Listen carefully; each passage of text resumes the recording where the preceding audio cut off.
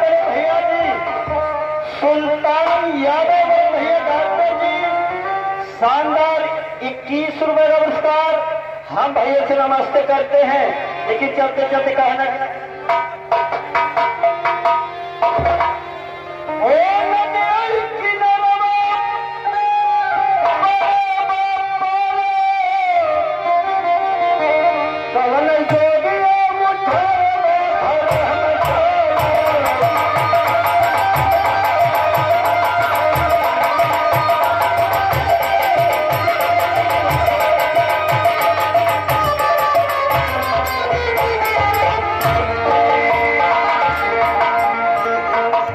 समय के बाद हम ले चलते हैं आप लोगों को नाटक के विषय में।